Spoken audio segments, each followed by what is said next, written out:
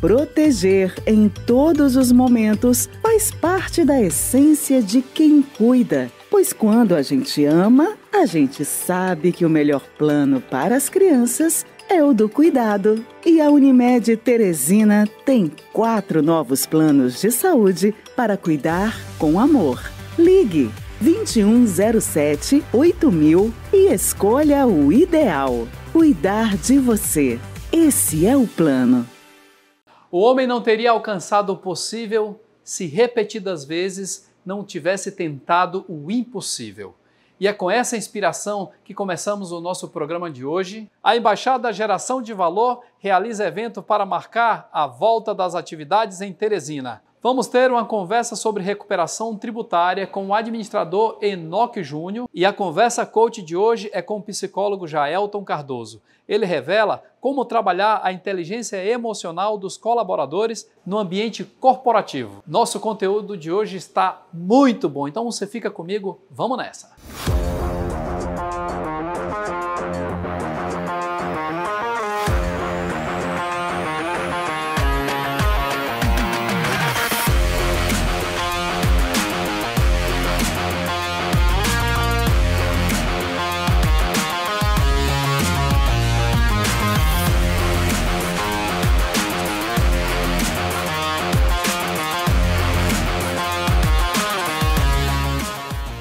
Um oferecimento Unimed Teresina, CRA Piauí, Conselho Regional de Administração e RR Contas. Agora eu quero te convidar para conferir tudo o que aconteceu no encontro dos empreendedores da Embaixada Geração de Valores.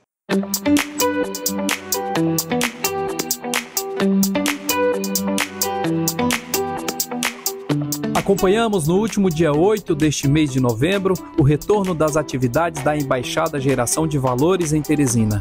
Este é um movimento voluntário que tem como foco objetivo fortalecer uma comunidade entre empreendedores através de seus encontros sempre regados de muita conexão, networking, troca de ideias, aprendizados e compartilhar conteúdos.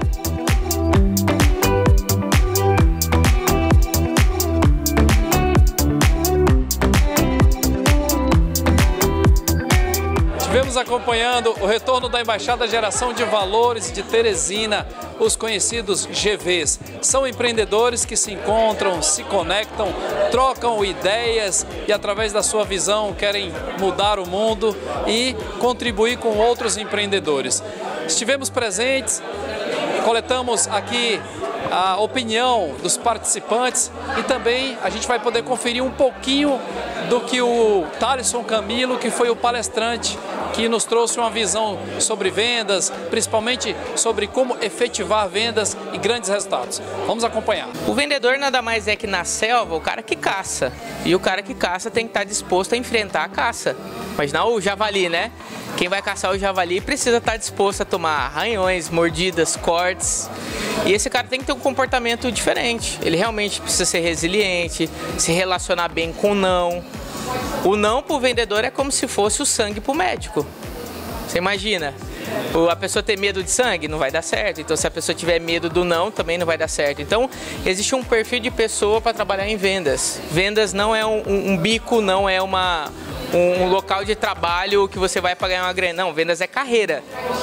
Eu deixei de ser engenheiro agrícola para ser engenheiro de vendas. E eu ganhei minha vida com isso, 100% variável todo o meu ganho e construir minha carreira com isso. É, o Flávio Augusto, que é o mote da nossa reunião, é um bilionário, começou como vendedor. Então, vendas cura tudo. Vendas é a principal atividade de qualquer empresa. Se é médico, tu tem que ter clientes, pacientes entrando na tua clínica. Se é dentista, mesma coisa. Qualquer empresa precisa vender. A gente precisa parar com esse medo de dizer que é vendedor, né? Todo, todos somos vendedores.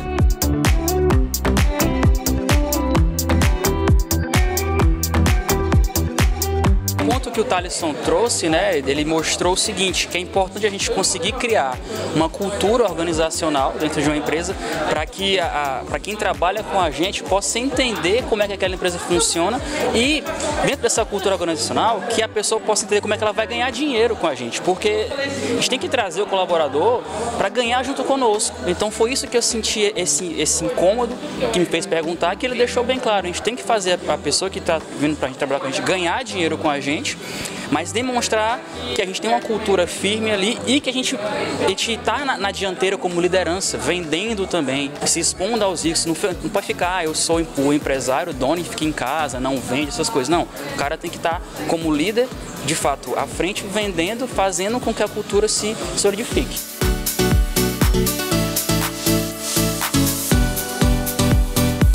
E um evento como esse, ele traz é, é, os melhores gestores, os melhores empresários para se conectarem.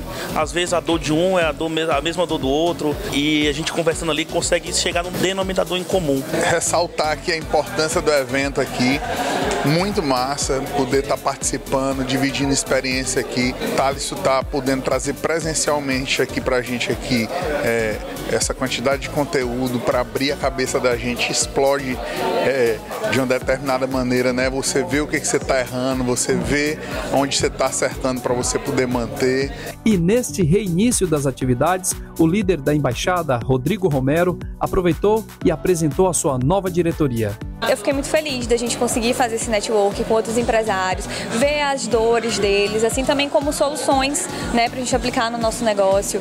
É, foi muito interessante ver a experiência do Thalisson também, trazendo uma série de, virando uma série de chaves na nossa cabeça, para que a gente possa aplicar e fomentar o nosso mercado, porque como ele falou, né, é muito importante é, que a gente traga essa visão empreendedora aqui para Teresina, que a gente troque essas figurinhas, né, para que cada vez mais a gente prospere e possa tornar o nosso estado, é, nossa cidade, uma cidade conhecida como isso mesmo. Hoje a gente ouviu uma fala aqui no evento de que ah, faltam oportunidades. Na verdade, é o que falta é a mudança de visão para as oportunidades que estão aqui no nosso estado, estão aqui na nossa cidade. Luma e Pablo, casal também empreende e faz acontecer no mundo do, dos negócios? Com certeza, e é muito bom empreendendo em casal que a gente troca muito ideia diariamente, né? Quando um está com dificuldade, o outro passa a experiência do que ele viveu no negócio dele, dá pra gente fazer essa troca, é muito bacana. Eluma, mas são segmentos diferentes, né? Isso, eu trabalho com moda esportiva, ele é corretor, eu também sou corretora, mas assim, eu tenho esse trabalho diferente, mas a gente sempre conversa no fim do dia, isso é muito bom, porque a gente não está sozinho, entende? Então você tem alguém para conversar, para estar tá debatendo as ideias, pensando em estratégias diferentes. Então isso ajuda demais. Inclusive, ambos fazem parte da nova diretoria do GV Teresina. Como é que esse assunto de contribuir com outros empresários, de contribuir com esses eventos de network entre o casal, por exemplo? É, o que eu mais aprendo fazendo parte da diretoria da embaixada é justamente que a gente influencia a vida de outras pessoas sem notar. Mas quando a gente nota isso, a gente passa a focar um pouco mais de atenção para fazer isso de forma intencional. E é isso que a gente fez aqui hoje, né? Levar conhecimento, trazendo o Thaleson aqui, trocando essa ideia.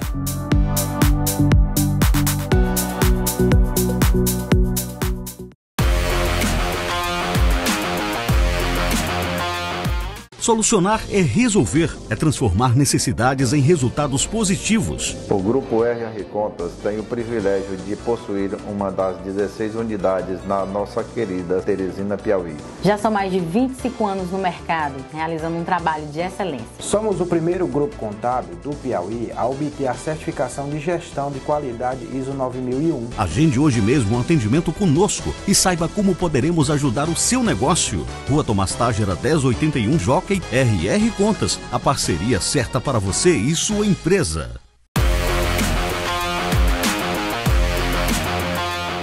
Vamos conversar a respeito de recuperação de créditos tributários. Eu estou recebendo o especialista Enoque Júnior, ele é administrador, é, especialista em auditoria e perícia tributária. Enoque, seja bem-vindo ao nosso Conversa Coach.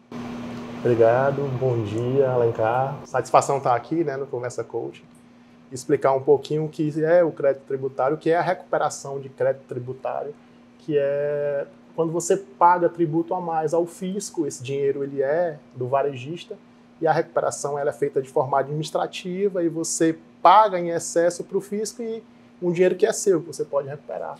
Essa eu acredito que seja a dúvida de muitos empreendedores, Enoque, porque, como você muito bem falou, até no varejo acontece da pessoa ser taxado quase que duas vezes. É isso mesmo? Sim, é, é, como se fosse uma bitributação. Né? Você, eu tenho um rol de, de produtos e de itens que eles são é, tem a obrigação de ou industrial ou importador fazer o recolhimento do PIS e da COFINS, né, que são os dois tributos que incidem sobre o faturamento da empresa.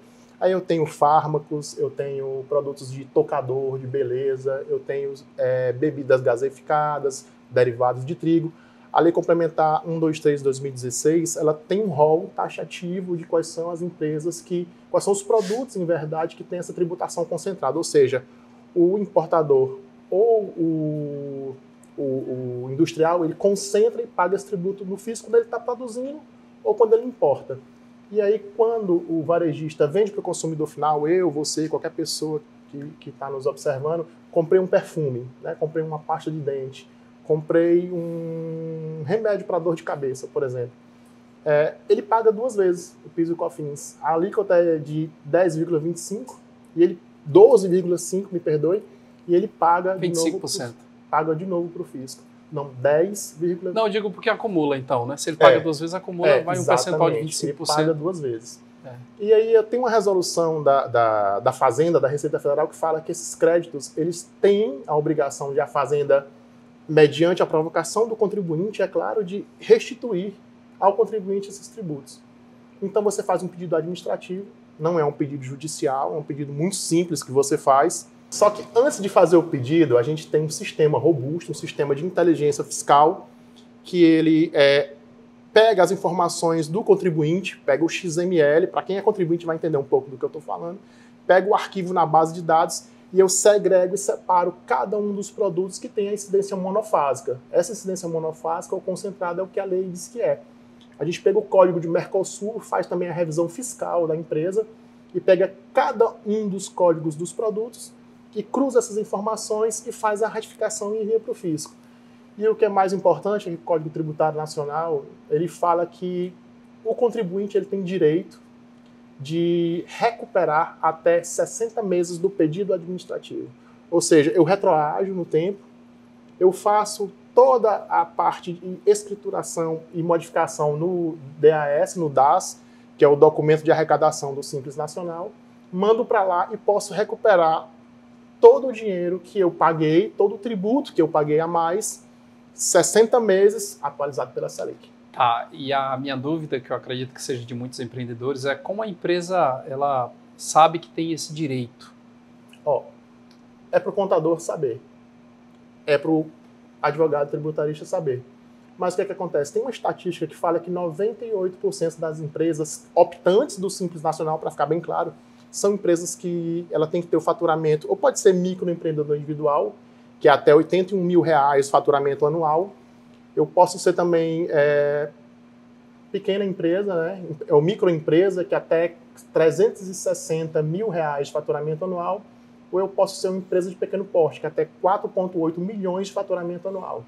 Só que o que, é que acontece? Como a lei do Simples veio para facilitar a tributação, que ela vai pagar a contribuição social sobre o lucro líquido, INSS, imposto de renda retido na fonte, imposto de renda pessoa jurídica, PIS, COFINS, ICMS, ISS, ele junta todos os tributos numa única guia e aí fica mais fácil para o contador e para a empresa mandar tudo isso para a Receita. Só que o, o, contador, ou às vezes por um equívoco contábil, não vou dizer que é um erro, é, ele não faz a segregação, a separação de item a item, cruzando a informação com a legislação. E aí paga duas vezes. E quando ele paga duas vezes, o preço do batom, ou o preço do, do, do medicamento, o água gaseificada, a cerveja, o refrigerante, o que é que acontece? Ele entrega esse dinheiro para o fisco. Como o fisco, né, como o governo federal, ele não pode ter enriquecimento sem causa, ele não pode ficar com dinheiro para ele, e o recolhimento é, voluntário, a Constituição chega com uma coisa belíssima. O teu crédito ele é preferencial e o teu crédito é imediato. Ele tem preferência em outros créditos que a Receita Federal está restituindo. Ele é imediato porque a própria resolução da Receita obriga ele a, a devolver esse valor, né, mediante provocação, com 60 dias, até 60 dias.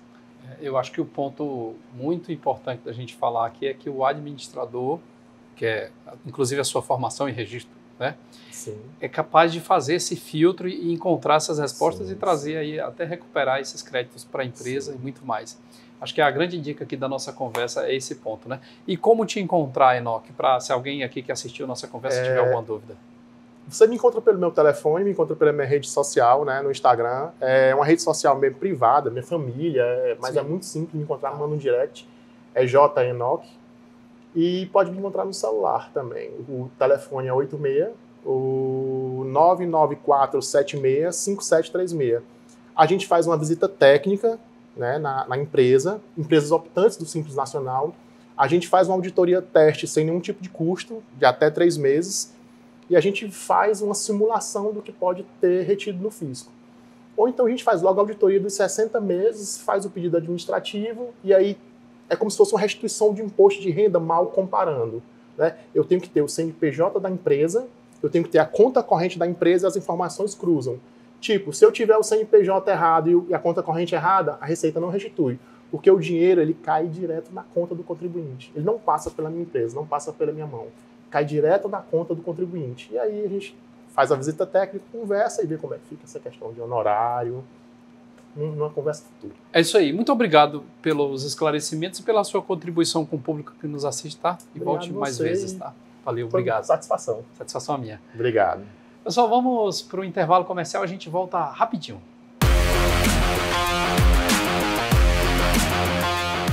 Proteger em todos os momentos faz parte da essência de quem cuida. Pois quando a gente ama, a gente sabe que o melhor plano para as crianças é o do cuidado. E a Unimed Teresina tem quatro novos planos de saúde para cuidar com amor. Ligue 2107 8000 e escolha o ideal. Cuidar de você. Esse é o plano.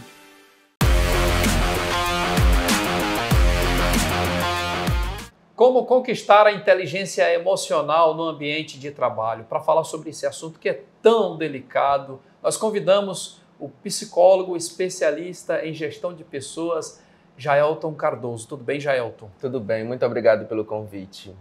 Jaelton, é uma satisfação ter você aqui para falar sobre um assunto que a gente pode até brincar falando que é um assunto moderno, mas na verdade é um assunto da realidade. As pessoas estão cada vez mais adoecendo emocionalmente no ambiente de trabalho.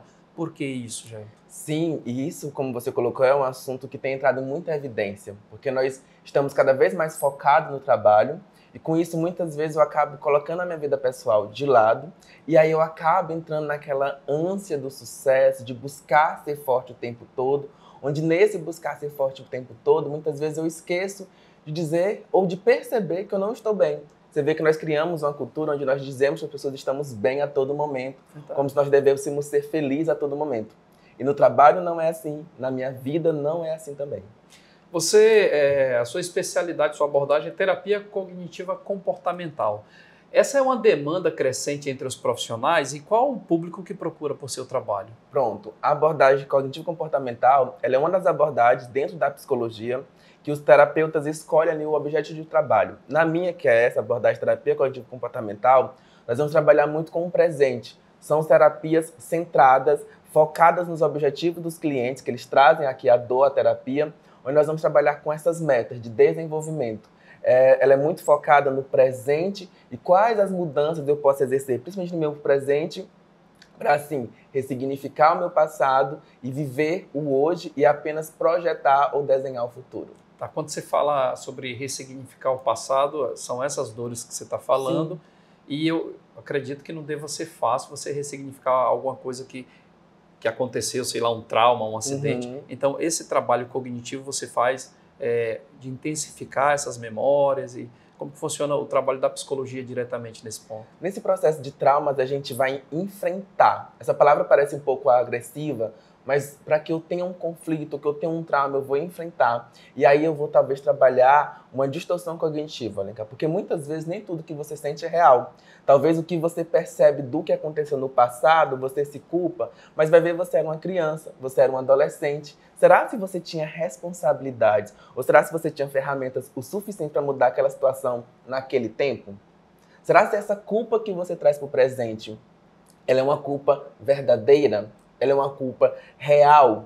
Muitas vezes ela é, como eu disse, baseada num sentimento. E esse sentimento pode ser causado por uma imaginação, por uma intuição, por uma crença disfuncional, ou seja, não há evidências reais. É, mas é bem difícil de, de entender, né? Uhum. Os especialistas, a nossa conversa aqui fica fácil da gente compreender, mas acredito que quem nos assiste, alguma parte do público, é bem difícil de entender essa questão da imaginação. Gostaria que você, se você pudesse explicar um pouco sobre é, como que funciona isso de, de forma Pronto. prática, Pronto. são memórias, são lembranças, como que é? Nós, seres humanos, temos uma péssimo hábito, vamos assim dizer, de querer ser um X-Men. Você assistiu X-Men? Demais. então a gente queria ser a Jean Grey, por exemplo, de colocar aqui e ler a mente dos outros. Isso. Então isso é muito comum. O ser humano trabalha muito a imaginação. Olha para o colega de trabalho, olha para alguém. Por exemplo, eu cheguei no meu trabalho hoje, dei um bom dia para meus colegas, teve o Alencar que não me respondeu. Então já começa a imaginar, será que o Alencar está com raiva de mim? Será que eu fiz alguma coisa com ele? Amanhã, então, quando eu chegar, eu não vou dar bom dia para ele. Ou seja, tudo fruto de uma imaginação, onde seria muito mais evidente eu chegar até você e dizer: Oi, eu falei com você hoje e você não respondeu, tá tudo bem? Aconteceu alguma coisa? Mas não, eu prefiro ficar ali alimentando meus pensamentos de uma imaginação, que aí, como eu disse, vão criar pensamentos disfuncionais. Preconcebido, né? Exato. Os famosos preconceitos. Outra coisa, Jaelton, você colocou na sua rede social, é interessante, cinco pilares da inteligência emocional. Uhum. Fala pra gente quais são esses pilares. Pronto. A gente percebe hoje em dia que, para a psicologia, a inteligência emocional é você saber lidar com as suas emoções. Ela também é conhecida como a psicologia social. Então, nós vamos ter cinco pilares que vão te ajudar a desenvolver ou até mesmo estimular cada vez mais essa competência que é tão importante no nosso cotidiano. A primeira é autoconhecimento ou autoconsciência. Eu sei que parece um pouquinho clichê, mas é importante que você saiba quem você é. O que que te move? O que que te deixa com raiva, com alegria, com medo, com tristeza, com repulsa, que são as cinco emoções básicas. A partir desse momento que você começa a internalizar, a se conhecer, saber quais são seus limites, saber quais são as suas motivações, você vai para o segundo pilar, que é saber lidar com as emoções.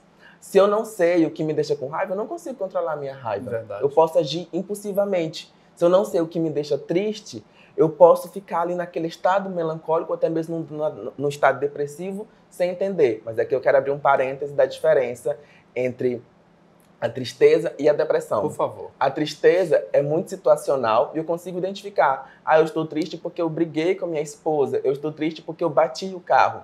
Já na depressão, como ela é uma, um humor deprimido muito mais crônico, muitas vezes é uma série de fatores onde aquele indivíduo não consegue identificar exatamente a motivação daquela, vamos ali chamar, é, perca de maestria ou de razão da vida. Porque na depressão, muitas vezes, a pessoa ali ela sente um senso de vazio. Ela não sente mais o prazer. Então é importante a gente deixar claro isso. Então, o segundo pilar é saber lidar com as emoções.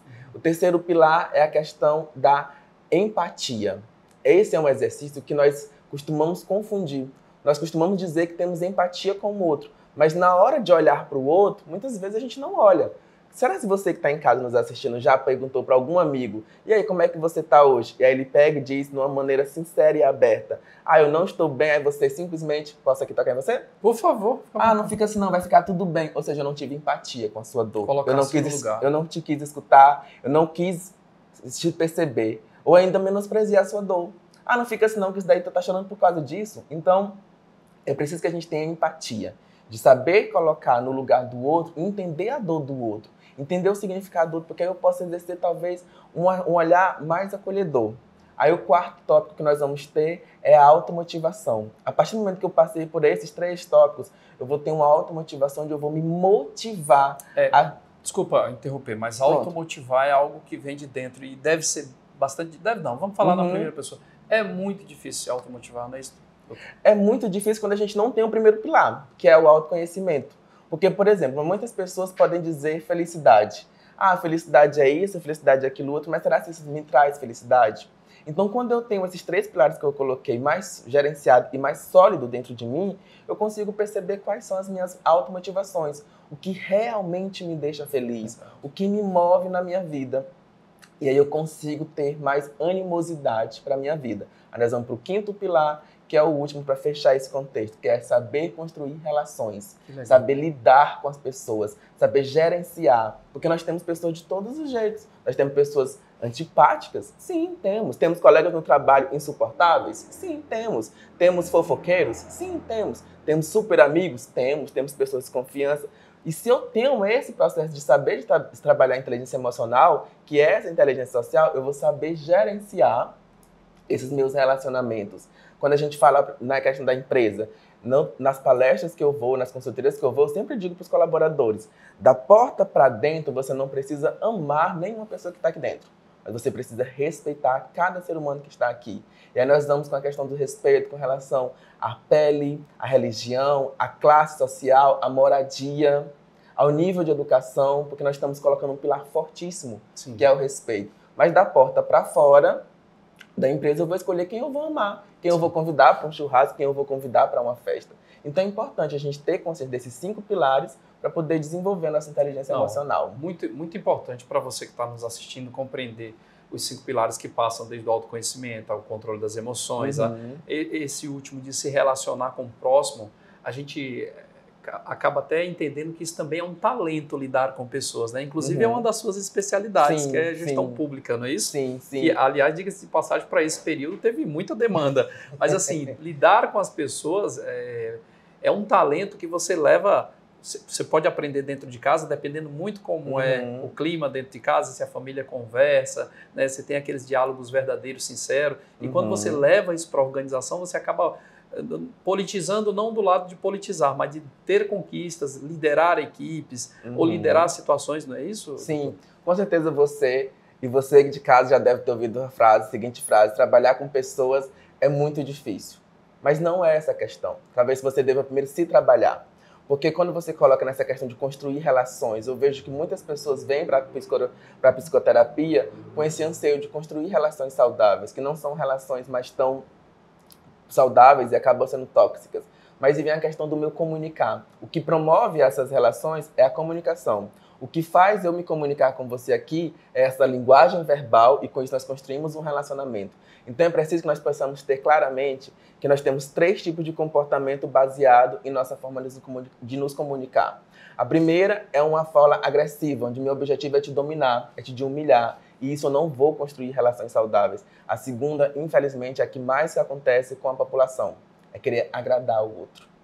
Eu vivo querendo agradar as outras pessoas. Se você é de casa, será que você tem dificuldade em dizer não para as pessoas ao seu redor?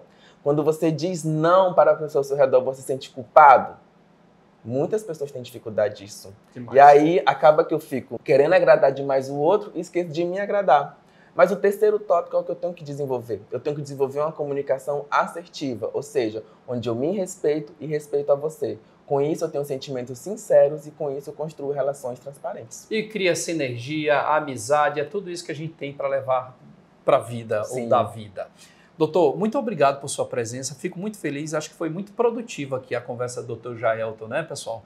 E eu gostaria de divulgar aqui a sua rede social para as pessoas conhecerem um pouco mais sobre o Jaelton Cardoso né, e, e entender, falar com você no direct, tirar mais dúvidas, porque às vezes não dá tempo da gente conversar sim, aqui, pode ser?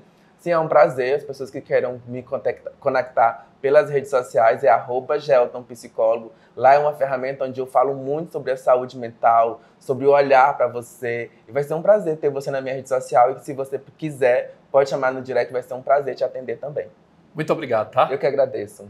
E é um prazer ter você aqui com a gente todos os domingos na tela da Band. Espero que você continue consumindo o nosso conteúdo no nosso canal do YouTube, Conversa Coach, tudo junto, e no nosso Instagram também, Conversa Coach. Vamos ficando por aqui. Domingo que vem tem mais. Tchau, tchau.